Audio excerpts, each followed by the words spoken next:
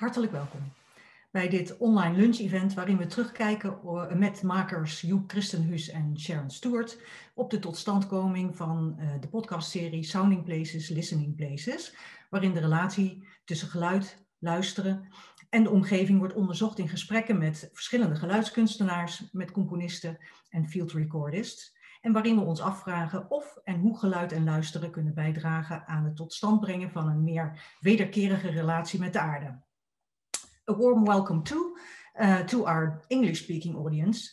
Uh, however, I must warn you that only a small part of this event is in English, as we have decided to let all our guests speak in their native language.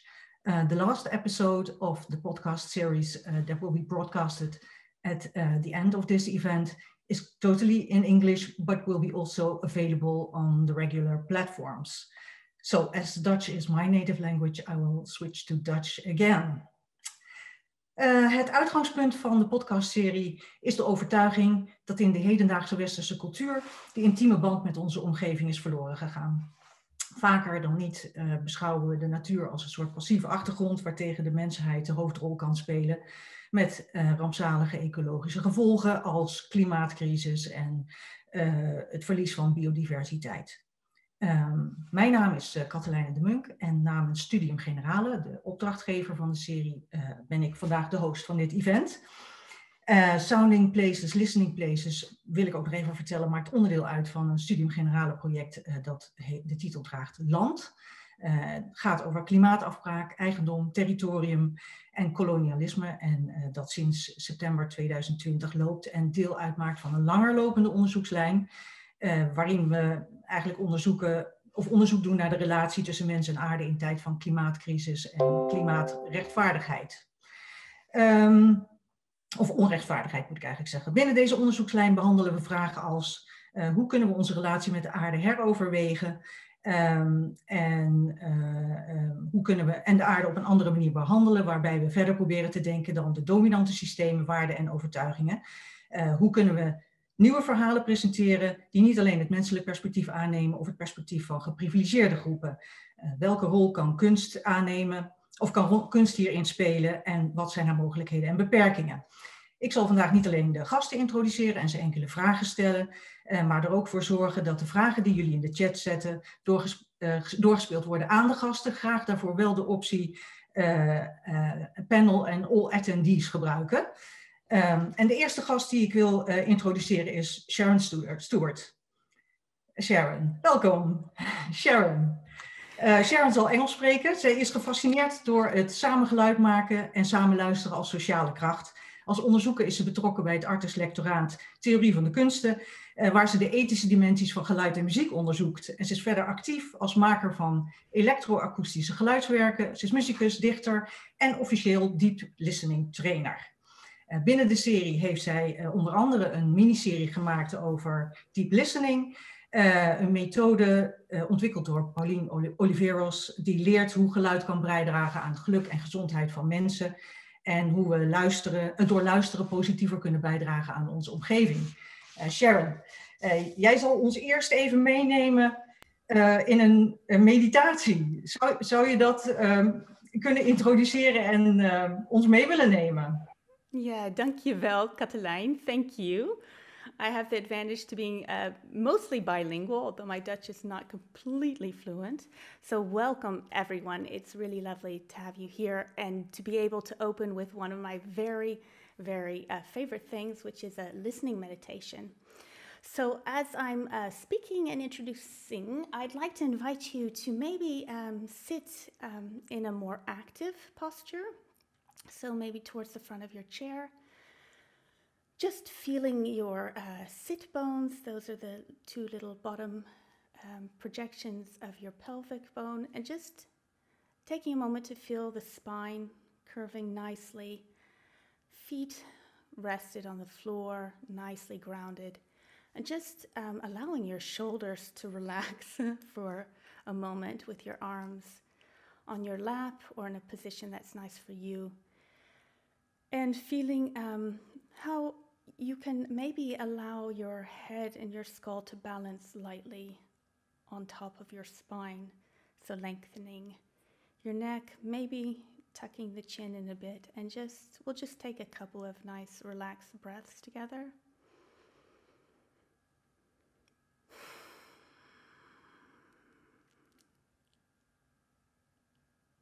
Another one.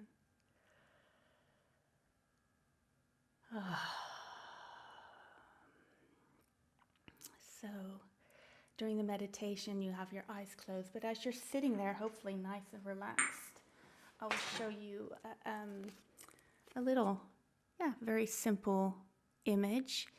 So, this could might um, represent the field of awareness, all the things we can be conscious of in our perception. And for those of you who are aware of a lot of things at the same time, this can be a full of all kinds of perceptual awareness. And this little dot in the middle is the ability we have with our brains and with the auditory system and with the visual systems to focus on one aspect in that field. And this is a variable, every individual is unique. So you have people who are very um, good and um, their habitual ways to hear this and see the whole field. And you have those who are often very um, focused. So, this um, uh, practice that um, Pauline um, Oliveros developed was about becoming aware of these, this field of awareness and this ability to focus within that field. And because she was an improviser and was very much interested in um, developing improvisation, she even called it improvis- improvisatory instead of a conservatory for music, improvisatory for music. Um, you can imagine how within dance, within music making, within sport, and actually just you know crossing the street in daily life, how being aware of your whole immediate surroundings as well as being able to focus and being able to um, fluctuate gracefully between the two is, um, yeah, it's a, a, great skill. So, we'll, I'll be using a little bell. I'm not quite sure how it will sound to you, but um, I'd like to invite you now again with this a nice, easy, light sitting to either gently close your eyes or soften your gaze. And during the next three minutes, I invite you to slowly expand your listening. Starts with centering on the body, and will go out in a sphere, 360 degrees and more sphere, front, back, up, down into the ground. And you might think of it as like a slowly expanding bubble or aquarium in which the sounds are all being included, welcomed with equal attention. And that's global awareness. So, as you listen to the fading away of the bell, you allow your listening awareness to expand in this ever growing sphere.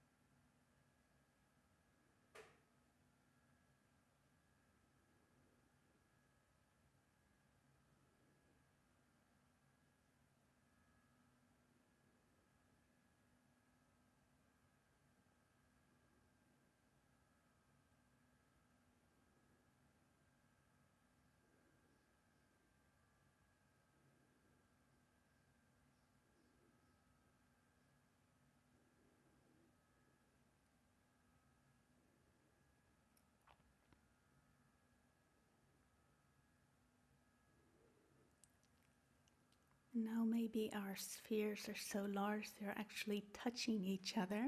So we're listening in this big field of listening. So you might notice that certain sounds catch your attention. And so in this next three minutes, you'll just allow those sounds to catch your attention and you will focus on a kind of linear listening. So the sound's coming to you, your attention is going to the sound, and you're paying attention to every detail texture, pitch, maybe the way it feels in your body, and you're listening to every detail in a way as if you wanted to maybe perform the sound later or imagine it. So, as the sound catches your attention, then you allow yourself to listen to the sound, follow it in all its detail until it fades away, or in the case of a drone, until you turn your attention back to this global awareness, this spherical listening. So, shifting between focused, detailed, and global aware, and always returning to global listening.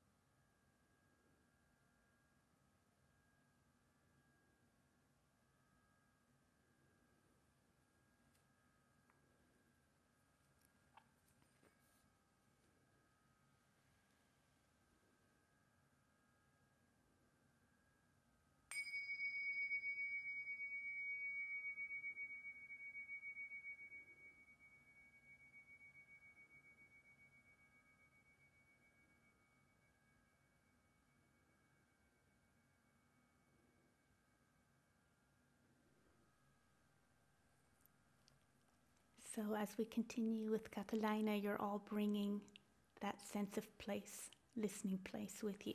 Thank. Dankjewel, Sharon.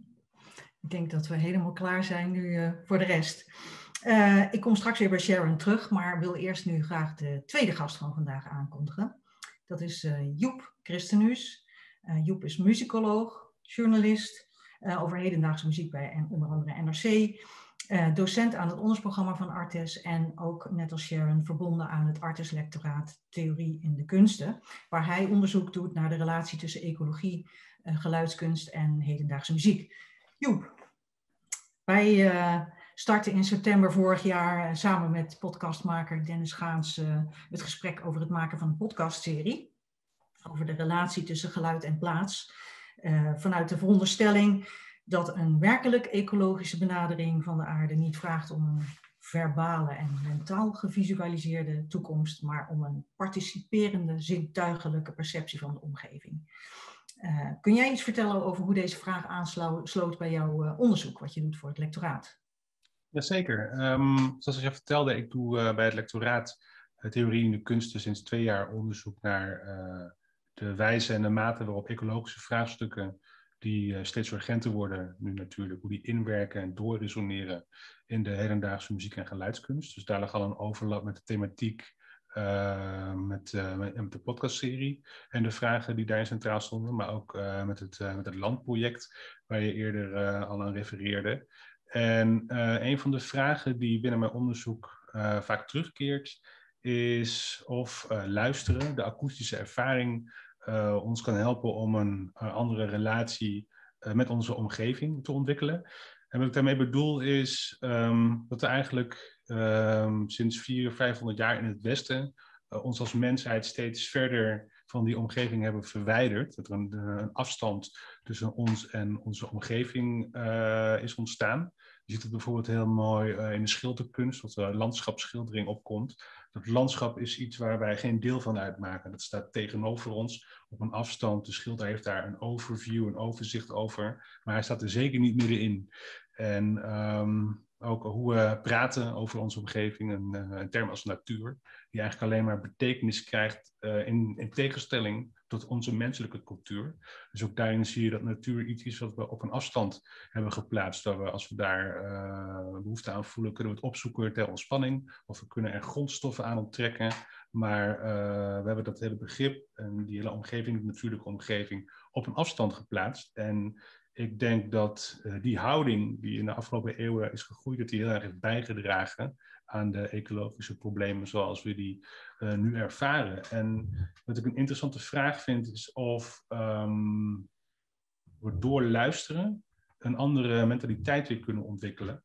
Namelijk dat we die omgeving niet op een afstand plaatsen, maar dat we een gevoel van nabijheid uh, daarbij ontwikkelen. En um, ik denk dat luisteren en geluid daar heel geschikt voor zijn, omdat luisteren uh, eigenlijk altijd een nabijheid veronderstelt. Je bent altijd midden in het geluid als je luistert. Je kunt geluiden alleen maar uh, horen en beluisteren als, als het geluid je aanraakt, uh, als het ware. En um, daarbij gaat geluid en het luisteren naar geluiden ook heel erg over relaties tussen dingen. Dus een vibrerend object wat die geluidsgolven voortbrengt, de omgeving waarin die geluidsgolven zich uh, voortbewegen, ook die omgeving die uh, weer inwerkt uh, op die geluidsgolven, maar ook hoe die geluidsgolven ons menselijk lichaam, lichaam aanraken, ons oor binnendringen, invloed uitoefenen op ons brein. Dus ook daar in het luisteren en hoe geluid werkt, zie je al een entanglement om maar eens een populaire ecologische term te gebruiken, van al die verschillende facetten. En um, we gaan nu luisteren zo naar een geluidsfragment van Bernie Krause. En ik zal daar na afloop wat meer over vertellen, maar ik denk dat dit fragment heel mooi illustreert uh, hoe je door het luisteren naar je omgeving, hoe je hele specifieke en unieke informatie uit die omgeving kunt winnen. En daardoor wordt je relatie met die omgeving ook een stuk rijker en een, en een stuk dieper. Dus misschien is het goed om nu even over te gaan naar dat fragment van Bernie Krause. Selective logging was a paradigm that the logging companies established in the 1980s and tried to implement, trying to convince people that there would be no environmental impact from taking out a tree here and there rather than cutting a whole, uh, a whole forest down. So I went out there to record in June of 1988, and late that summer, the uh, logging company came through and, and did their selective logging. And a year later, in 1989, I came back at the same time in June and recorded again to, to compare the two, uh, the, the two examples. And sure enough, while to our eye, not a tree or a stick looked out of place and you couldn't see you couldn't see any difference to our ear everything had changed the density of the bird life had dropped off meaning the total numbers of birds the uh, diversity had dropped off the total numbers of species had dropped off and it was as if almost nothing was there and I have this example that I show in 15 or 20 seconds that shows before and after. Now, let's listen first to the situation before.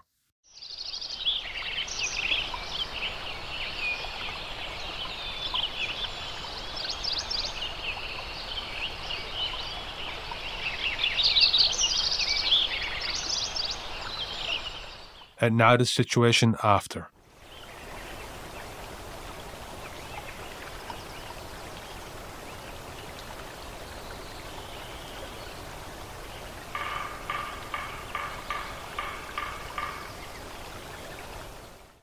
Ja, ongeloo ongelooflijk. Hè? Wat, een, uh, wat een verschil. Uh, Joep, kun jij iets uh, meer vertellen over dit fragment?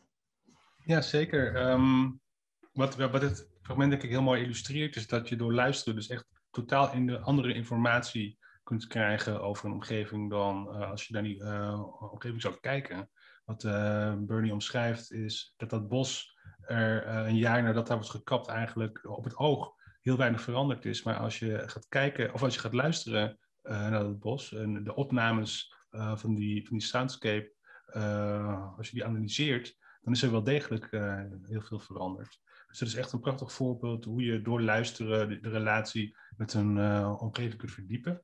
Um, Bernie Krause is, hij maakt onderdeel uit van onze eerste aflevering.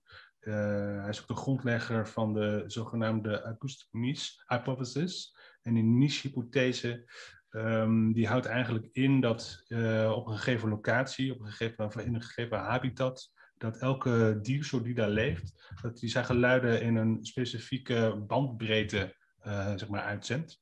Uh, een olifant, om maar een voorbeeld te noemen, zit heel laag in dat spectrum, maar vogels of insecten vrij hoog. En die spreiding over het spectrum en dat elke soort zijn eigen niche heeft, is heel essentieel voor het overleven van die soorten. Omdat dat een grote rol speelt in het vinden van voedsel, voerplanting, uh, et cetera. Maar het maakt het ook heel geschikt om zo'n soundscape te analyseren. Als je die verschillende niches analyseert, kun je, krijg je een heel compleet beeld van welke soorten daar leven, hoe groot de biodiversiteit is, wat de dichtheid is, et cetera, et cetera. Dus dat is een hele ja, geschikte methode om informatie over zo'n plek te krijgen. Ja, interessant. Joep, jij spreekt met uh, Bernie Krause in deze aflevering ook over het opnemen, of hoe het opnemen van, sounds, van soundscapes zich verhoudt tot de diep spirituele betrokkenheid die oorspronkelijke bewoners vaak hebben met uh, hun natuurlijke omgeving. Uh, volgens jou houdt opnemen altijd een verplaatsing in, het verwijderen van geluid uit zijn context. En wat, gebeurt er volgens jou met het idee van plaats? Um, ja, dat hangt een beetje af van waar we onder, onder, plaats bestaan. En ik denk als je uh, begrip als locatie en plaats, of ruimte en plaats tegen elkaar afzet, dat plaats uh, heel specifiek over bepaalde eigenschappen van een locatie gaat. Dus uh, geologische eigenschappen, ecologische eigenschappen, maar ook historische eigenschappen. De rol van de mens, die verschillende features maken, een ruimte tot een plek, en het gaat ook heel nadrukkelijk om de relatie tussen al die facetten. Um, en geluid maakt daar ook deel van uit. Het is onderdeel van dat web van eigenschappen en relaties, wat een ruimte of een plek maakt. En als je dat geluid gaat opnemen, dan ontstaat er een vreemde situatie. Namelijk, de microfoon ontrukt dat geluid uh, aan het oorspronkelijke web waar geluid een functie binnen had. En je uh, houdt een, uh, een opname, een soundscape-opname over die weliswaar de sfeer en de impressie van die plaats nog heel duidelijk overbrengt, maar wel in de afwezigheid van die plek, want die is er niet meer. En dat is een hele ja, vreemde, beetje uh, schizofrene situatie eigenlijk. En als je dit bekijkt vanuit een ecologische bril, dan zie je ook best wel vreemde overeenkomsten met bijvoorbeeld hoe we um, in onze kapitalistische samenleving en in het uh, koloniale verleden met, uh, met, met plekken omgingen en daar uh, grondstoffen uithaalden om daar geld aan te verdienen zonder nog oog te hebben voor dat oorspronkelijke web van relaties waar die grondstoffen deel van uitmaakten en geluiden onttrekken aan een omgeving om daar op een andere plek uh, een performance mee te maken of een kunstwerk mee te maken. Ehm, daar zit een beetje dezelfde beweging in.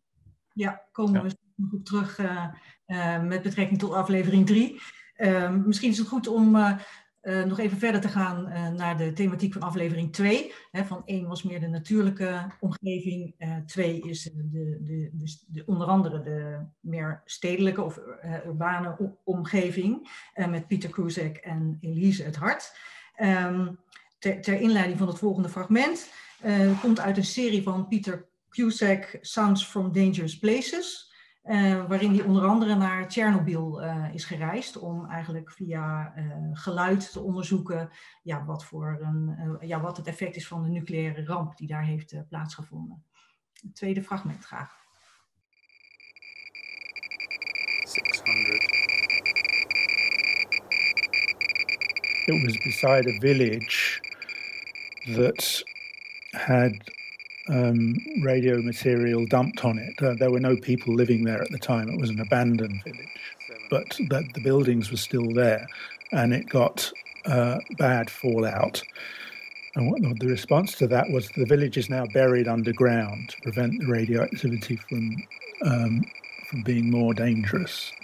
Uh, so what you see is grassy mounds, un- and you know underneath there are the remains of the village.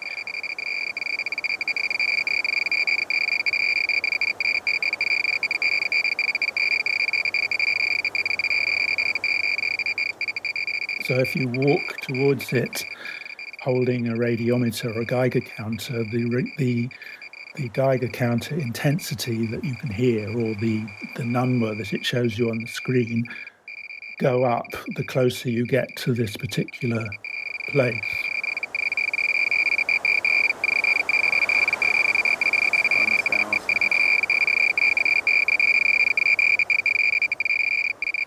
But also in that recording, there's the sound of, of wind. One of the big questions about Chernobyl and any other nuclear disaster is what happens to the radioactivity that's been released. Where does it go? How does it move from one place to around the world? The radioactivity from Chernobyl can now be found anywhere in the world. And the question is how does it how does it distribute?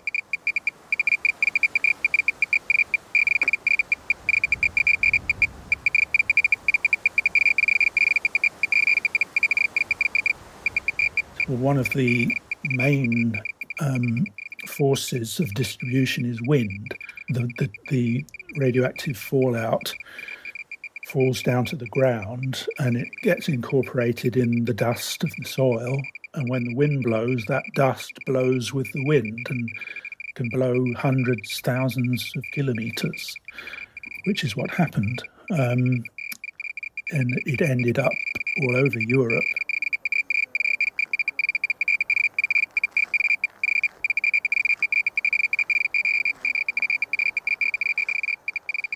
So the sound of the wind in that recording is a reminder or is a symbol of the mechanism which spreads radioactivity around the planet from its original location.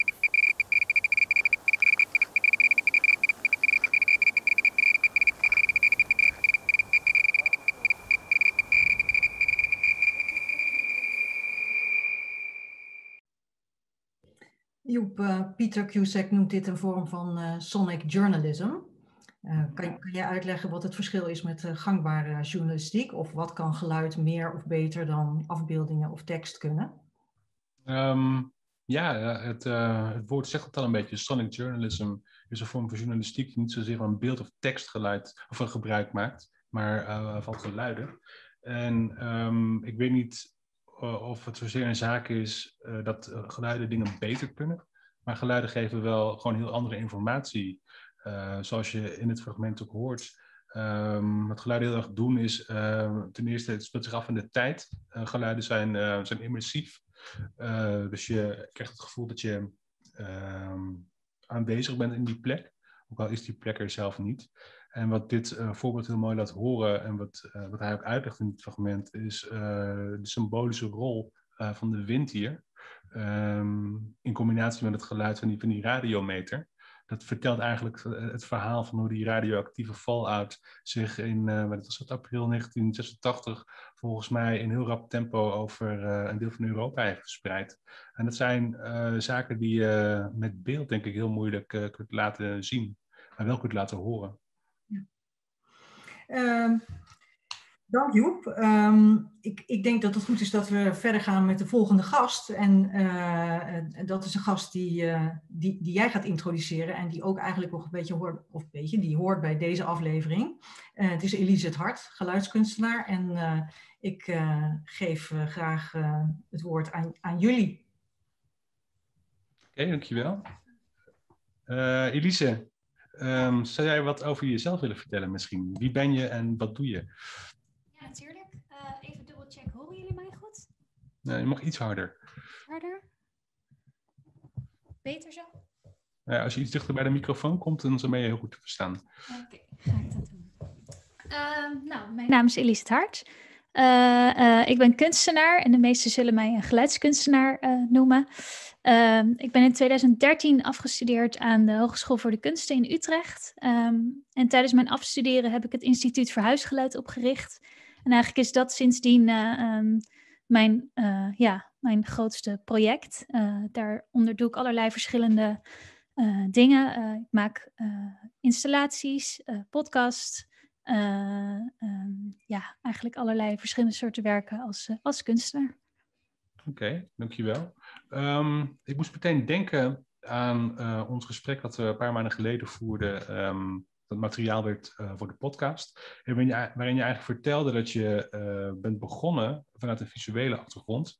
Je vertelde ja. heel mooi dat je aan de Hogeschool voor de Kunst in Utrecht studeerde te midden van de schilders en de beeldhouwers. En op een gegeven moment besloot je uh, dat geluid toch meer jouw medium was. Kun je wat meer vertellen over het hoe en waarom van die switch? En wanneer ja. je dat besloot? Ja, zeker. Um, nou ja, ik kom uit een uh, muzikantenfamilie. Dus mijn beide ouders zijn muzici en uh, mijn broers ook. En uh, ik dacht me heel erg af te zetten en de beeldende kunstkant op te gaan. dus ik ben inderdaad begonnen met schilderen. voornamelijk schilderen en tekenen. En ja, na een tijdje kwam eigenlijk die achtergrond vanuit de muziek en het luisteren naar boven. En merkte ik dat luisteren voor mij een veel directer gevoel oplevert dan uh, kijken. En toen dacht ik, ja, uh, geluid kan eigenlijk net zo goed mijn medium zijn als, uh, als mijn, mijn kwast en mijn verf, zeg maar. Dus toen ben ik daar mee gaan experimenteren en mee gaan werken. En um, op een gegeven moment was het zo dat ik in de huisgeluiden rolde. dat was eigenlijk vanwege twee momenten. Um, Eén moment was dat ik zelf verhuisde van Utrecht naar Den Haag. En um, ik merkte dat ik daarmee. Uh, ik ging toen naar mijn elfde huis. Ik heb in elf verschillende huizen al gewoond. En ik merkte dat ik steeds met een verhuizing ook allerlei geluiden verloor van zo'n plek. Die me eigenlijk heel. Uh, ja, die eigenlijk heel waardevol zijn voor mij en mijn herinneringen aan een bepaalde plek. En toen ben ik die gaan vastleggen.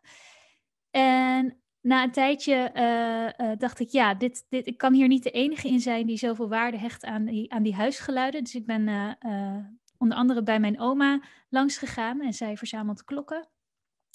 En ik zat daar op de bank en ik dacht, ja, ik weet zeker dat als ik dit geluid van die tikkende klokken over 30, 40, 50 jaar hoor, dat ik weer helemaal terug kan gaan naar die plek. in geur ook en in zicht en op allerlei manieren. Door alleen maar dat geluid van die tikkende klokken te horen. En dat was eigenlijk voor mij wel een startpunt om daadwerkelijk met huisgeluid te werken, als uh, nog specifieker als medium.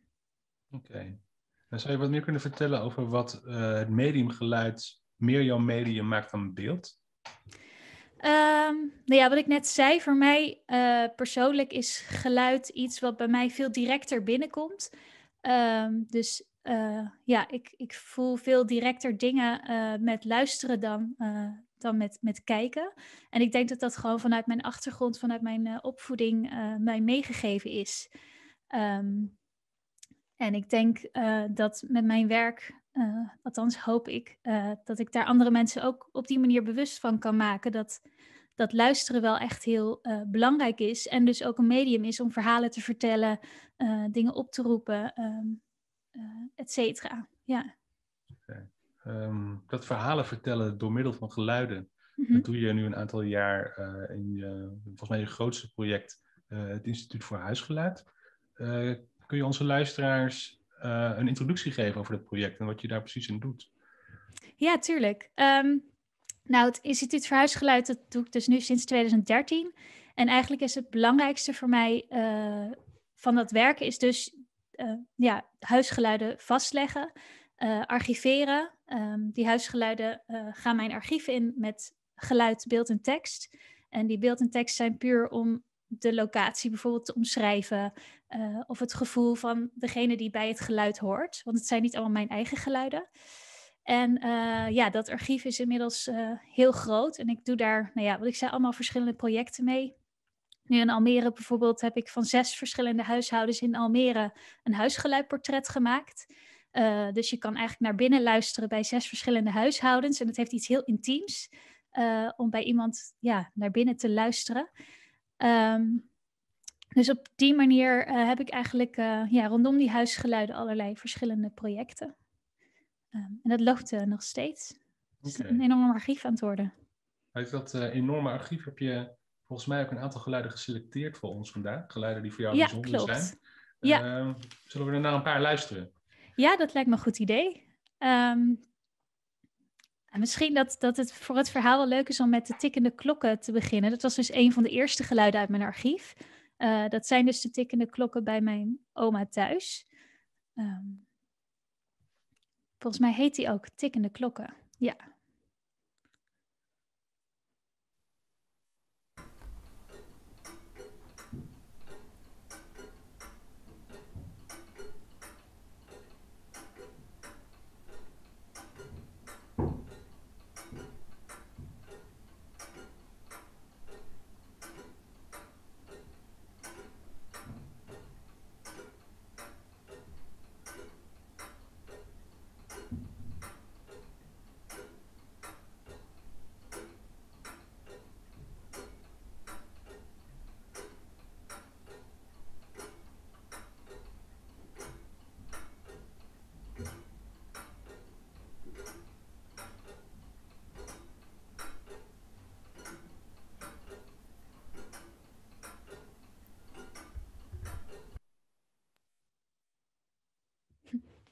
Ja, dit is voor mij dus een heel persoonlijk geluid. Um, en nou zullen er vast meer mensen zijn uh, uh, uit mijn en onze generatie die oma's of ouders hadden met uh, klokken thuis. Maar klokken, bijvoorbeeld tikkende klokken in huis, is iets wat ook heel erg verdwijnend is.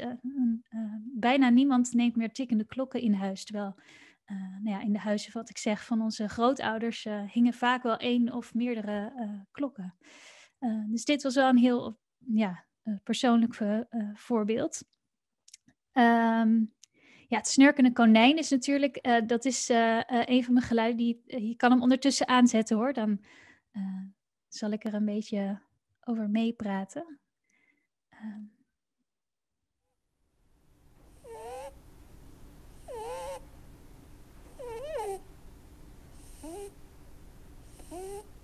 ja, dit is een van mijn meest beluisterde geluiden. Ik denk wel dat mensen toch wel als ze het zien staan denken, snurkt een konijn. Uh, het heeft natuurlijk iets heel aandoenlijks. Uh,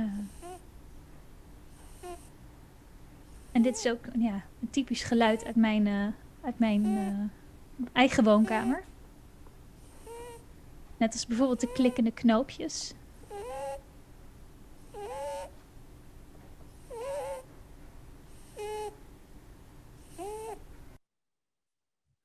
Dat is ook al zo'n zo'n typisch persoonlijk geluid. Uh, daarna zal ik naar iets algemeners gaan. Ik, ik werd vorig jaar namelijk moeder en een van de geluiden die je ineens heel erg veel hoort, behalve het gebrabbel van je baby, is de, zijn de drukknoopjes op rompertjes. Uh, dat is, nou ja,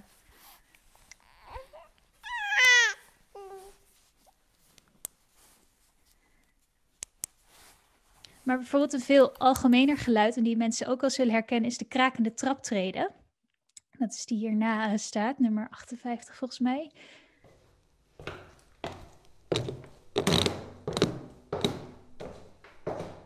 En een krakende traptreden is wel iets wat, als je hem in huis hebt, uh, uh, het kan een, een, irritatie zijn van die, die traptreden kraakt. Dus ik stap er overheen, want je wil bijvoorbeeld niet uh, dat nou ja, baby wakker wordt.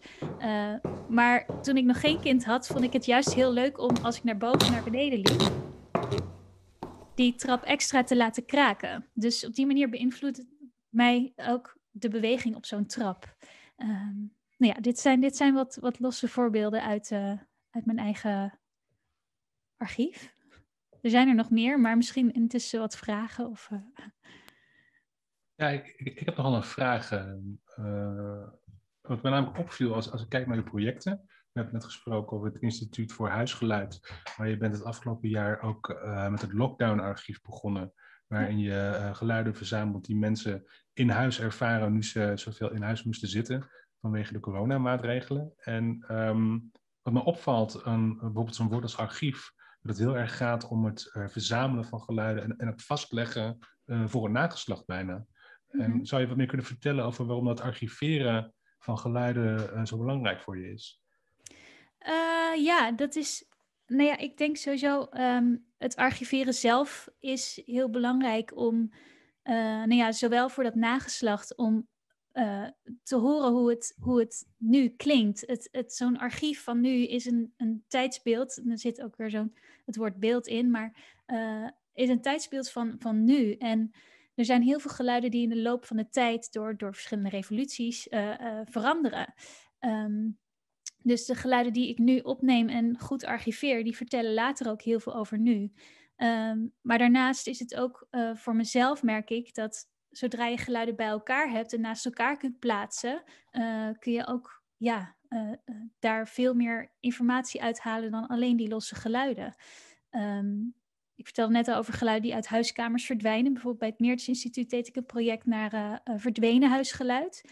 Dus daar uh, zocht ik in een geluidsarchief die voornamelijk dialecten bevat naar verdwenen geluiden. En die geluiden zeggen en vertellen ons gewoon heel veel meer of andere dingen uh, dan uh, beeld dat doet. Um, en ja, zo kwamen we eigenlijk achter dat ook binnen onze huiskamers heel veel in geluid in de loop van de jaren verandert. Um, dus daarom denk ik dat het goed is dat we dat allemaal goed bijhouden en archiveren. Oké, dankjewel. Uh, kijk even naar de klok. Ik denk dat het zaak is dat we het stokje weer overgeven aan, uh, aan Katelijn. Ja. Heel erg bedankt, Elise, voor je, ja, voor je antwoorden, de mooie voorbeelden en voor je deelname. Ja, graag gedaan. Heel erg bedankt voor het maken van de, van de podcast. Ik denk heel belangrijk uh, dat dat gebeurt. Ook heel graag gedaan. Katelijn, het woord is er aan jou. Ja, mooi. Ik, ik roep Sharon er weer even bij. want met Sharon zou ik graag nog eventjes willen praten over uh, aflevering 3, die door haar is uh, samengesteld. En waarin ze in gesprek gaat met geograaf en geluidskunstenaar Amer Kangiezer. En met vocaliste en componist uh, en nog vele andere dingen, Lisa E. Harris. Over geluid in relatie tot plaats, tot eigenaarschap, activisme, ecocide, racisme. Um, en uh, waarom we denken dat we een intrinsiek recht hebben om op te nemen, om soundscapes vast te leggen. Misschien moeten we eerst even luisteren naar de introductie van uh, de aflevering. Extinction is a term that collapses things. It is made to grasp what cannot be grasped. It is a word given to those who are seen, by those of us who only attend to the world through what we can name. To name is to see, but more to recognize. To name, for us, is to colonize, to own and control. To name is to carve the world apart and configure it into what we can claim. Half of my work is leaving, of knowing when to leave, of leaving despite expectations, despite money paid, despite what I want, you know, despite anything, and saying, you know what, I am not. I'm not welcome here. I'm unwanted here, and not because someone said something to me, but because I I know. I just know inside of me that it, this is not my place. And I think good intentions, the good intentions of the researcher, are some of the most damaging things that we can conceive. As they killed, they said, You are this kind of thing. They said, You are that kind of thing.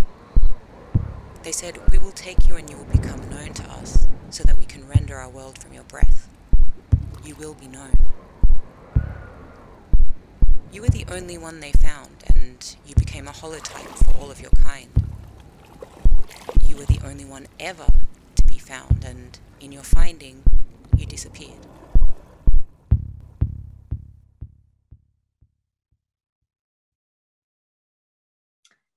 Ja, Sharon, belangrijke onderwerpen. En een belangrijke vraag van jou was ook van, van wie is geluid eigenlijk? Uh, misschien dat je daar nog iets over kan vertellen, maar in algemene zin ben ik ook wel benieuwd om van jou te horen wat nou de meest, nou, wat het belangrijkste was wat je hebt meegenomen uit de interviews met deze twee uh, personen. Yes, thank you. Yes, for the English speakers, that was um, Amer Kangieser's eulogy for the handfish. And she's a geographer and someone who's deeply involved in sound, recording, and sonic works.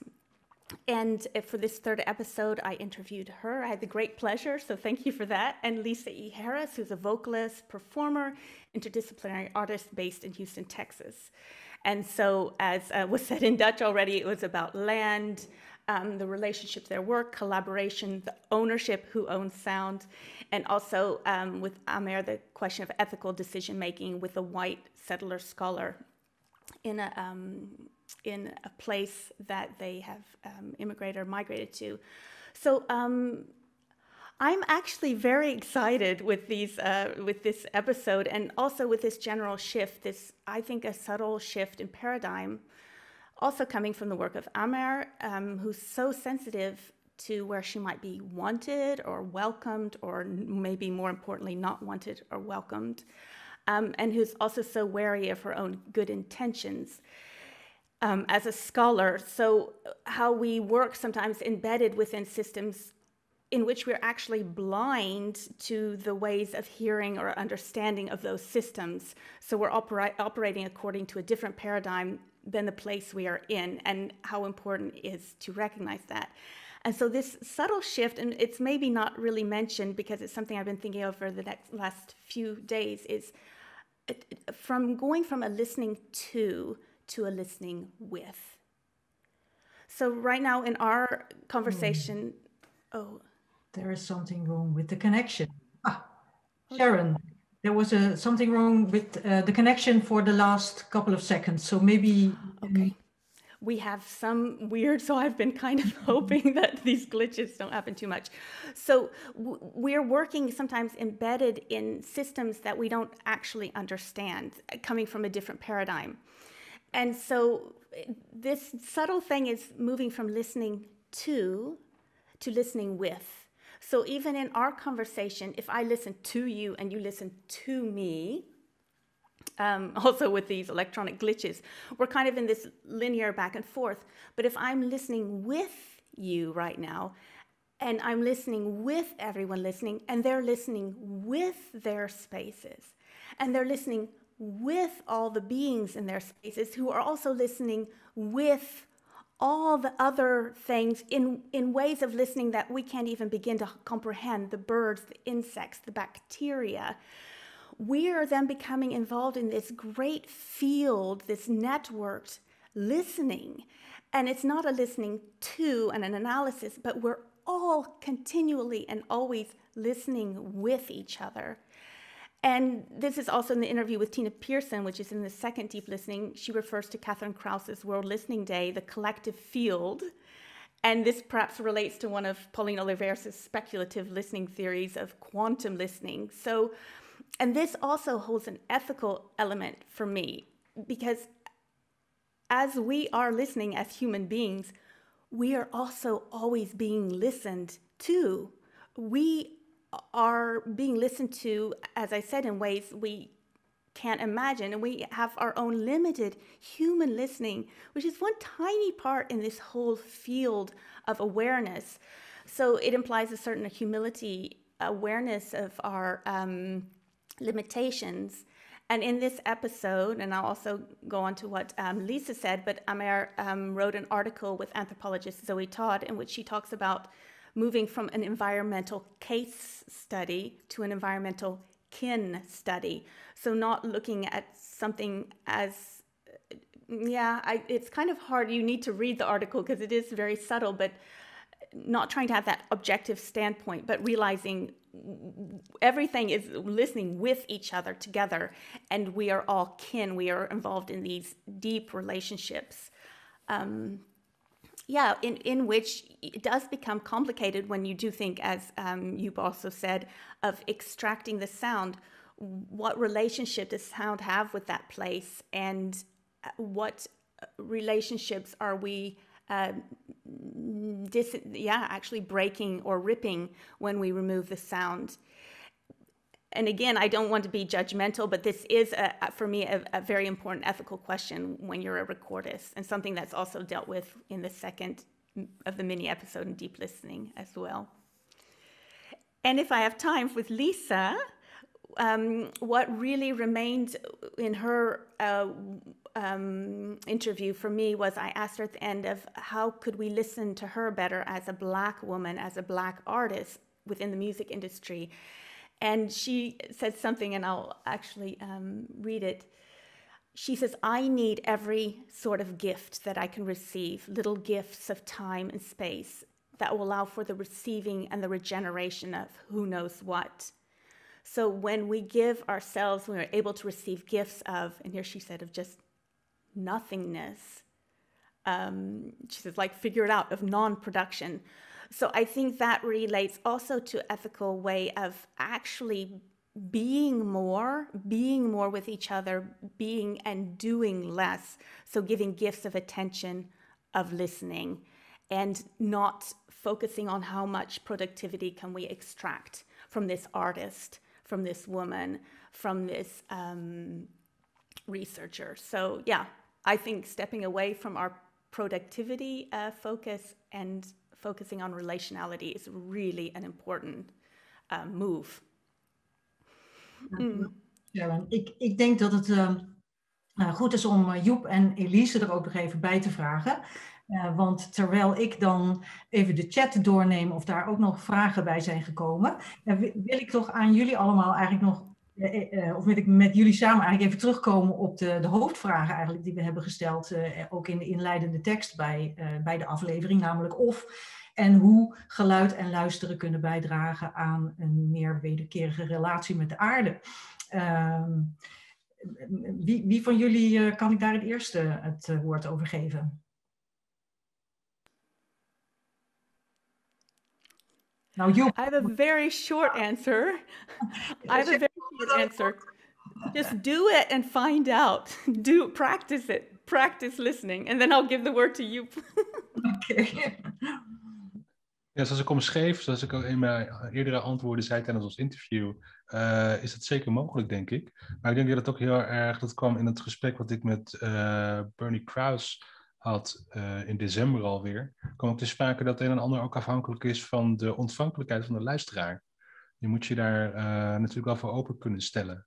En als die ontvankelijkheid er is en die openheid, denk ik zeker dat je door luisteren misschien nog wel meer dan uh, door, door kijken ehm, die relatie met je omgeving inderdaad kunt verdiepen. Zeker, ja. Elise, hoe zie jij dat? Een huilende baby op de achtergrond, dus vandaar maar ze is nu stil.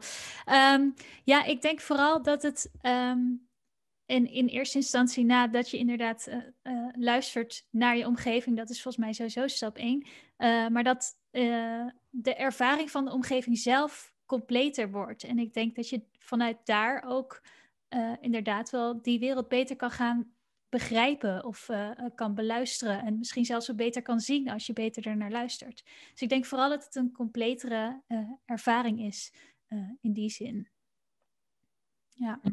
Sharon, is, is, lu is luisteren ook iets wat met een soort spier te maken heeft die je moet trainen? En, en deep listening daar dan ook een manier voor?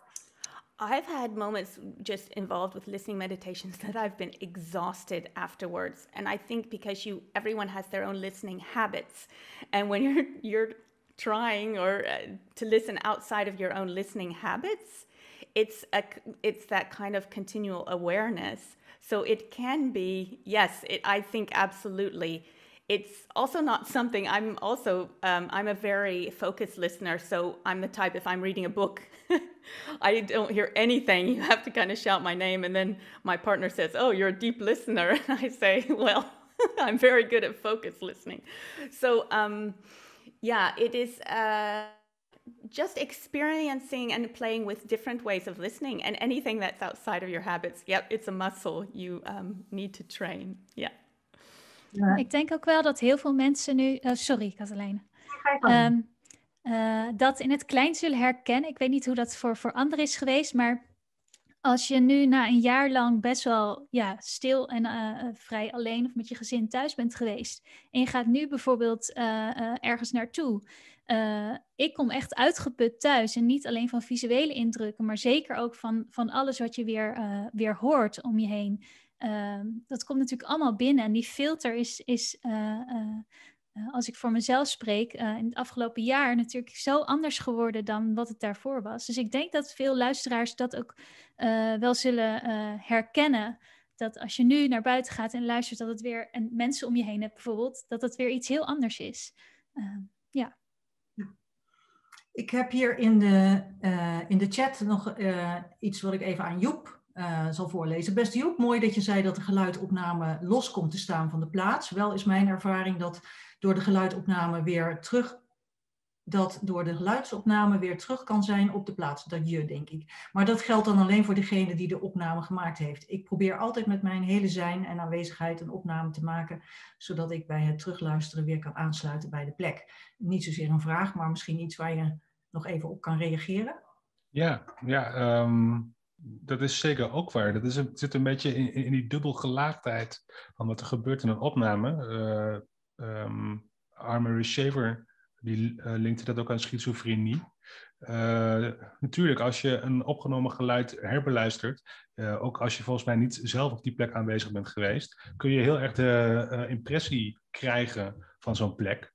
Maar feit blijft natuurlijk dat je tegelijkertijd die plek beluistert in de afwezigheid van die plek, want je bent daar niet echt. Dus wat is dan nog de rol of de status um, van het geluid op die opname? is dat een soort um, um, ja, bijna autonoom geluidsobject geworden. Terwijl als je die geluiden zou beluisteren op de plek in de oorspronkelijke context, dan zijn die geluiden veel meer relationeel. En zijn ze verbonden met uh, ja, andere eigenschappen van die plek. Zijn ze ingebed in een web. Dat is het, uh, dus het onderscheid dat ik uh, probeerde te maken. En het, het vreemde, het ontzettend paradoxale ervan is ehm, dat die plek toch in die, in die opname ook wel enigszins aanwezig is, maar in zijn afwezigheid. Een Amerikaanse sonic theorist Brandon LaBelle heeft daar mooi over geschreven. Uh, wat ik nog vergeten ben te zeggen, en wie ik vergeten ben te introduceren, maar die hier ook aanwezig is, uh, is Dennis Gaans onze onverprezen podcastmaker. Daar zit hij.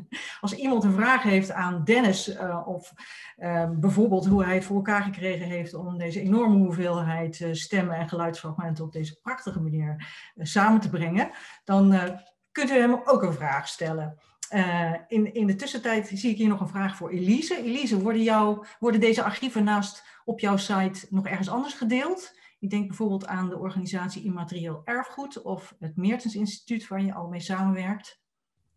Uh, nou, ik ben momenteel bezig met uh, het archief te ontsluiten. Dus momenteel is het archief alleen voor mezelf te bereiken en te beluisteren.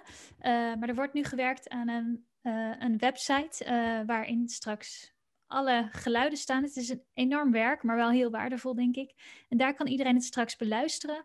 En ik ben ook wel in gesprek met andere instituten over het eventueel opnemen van dit, uh, van de website of van het hele archief. Ja, ja, dus daar ben ik wel mee bezig.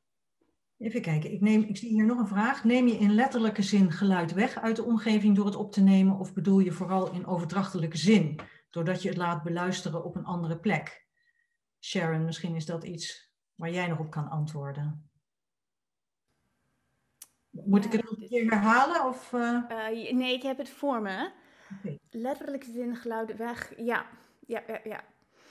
I remember I was at a museum for sound art, and it was in um, Karlsruhe. What's the name of the museum there? Come on.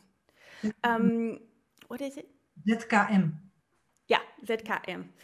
Um, and I was indeed recording, and I really felt like I was siphoning off sounds because I found this little. Um, there was a installation room, and then I heard something very interesting. It was like the open door, and it was the all the equipment that was driving this whole big installation, and it was like this little reduced uh, kind of um, compact kind of repetition was happening in this huge installation hall. And as I was recording that, it really seemed like a step by step kind of ex- really extraction. That was the word that I put to it at the time. I think for me, uh, um, yeah, I have to be not too controversial, but my, maybe my pet peeve is you go to an exotic place as a field recordist, and whether your good intentions are is now okay, I will bring attention to this to this um, jungle um, soundscape so that people will want to protect the jungle, you know that they will, and then the person, as you're saying, the person listening to it just pops it on, you know, as a background for their you know productivity moment behind their computer these are that's maybe the kind of the issue I have that once you've extracted it and you release it into the world, yeah, it's going to be used for all kinds of things, and that's okay. But often, you know, sorry, capitalist and consumerist motives kind of take the upper hand in a lot of in a lot of situations, and there's not a really like attentive listening or a trying to connect with place, and yeah, that's kind of maybe my uh, worst case scenario uh. Mm. Dennis, uh, er is niet uh, in de chat een vraag aan jou, maar ik wou toch van de gelegenheid even gebruik maken om ook aan jou te vragen. Want jij was, stond toch ook aan de basis van deze serie. zeker met jouw fascinatie voor geluid en geluiden. Um, is er, kan jij één ding noemen wat, wat jou het meest, zeg maar, wat het meest jou bijgebleven is of wat je het belangrijkst vond uit deze podcastserie?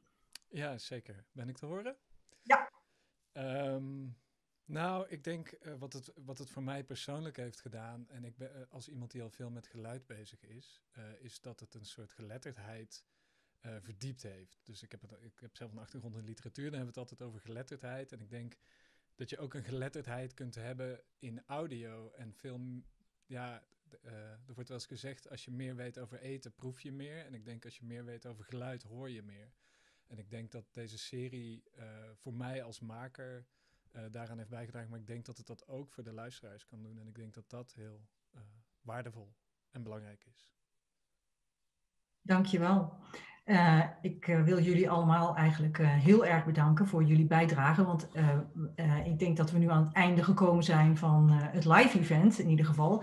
Ehm, dus Elise, Joep, uh, Dennis, ontzettend bedankt voor jullie bijdrage. Publiek ook namens uh, ons alvast uh, bedankt. Sharon, die, die, die, die mag nog even blijven, want die ga ik straks nog vragen om toch ook de, de laatste aflevering van de podcastserie te introduceren, die we ter gelegenheid van het live event nu uitzenden.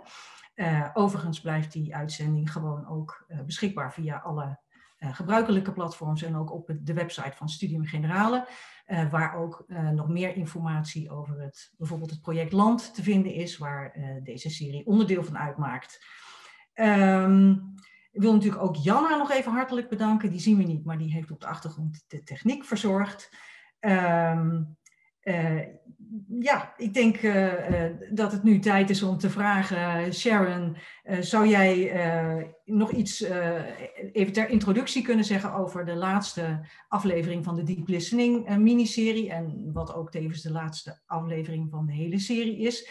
overigens, die miniserie bestaat uit goede oefeningen, hè? als het gaat over, als je meer weet over horen en als je meer hoort, dan dan, dan, dan hoor je misschien ook meer. Uh, misschien kan je daar in je introductie nog even ingaan op uh, het aspect van uh, luisteren, community en creativiteit, zoals dat in de aflevering uh, ter sprake komt. Ehm, wij komen na de uitzending verder niet meer terug, dus namens ons allen hierbij hartelijk dank voor jullie aanwezigheid en de bijdrage.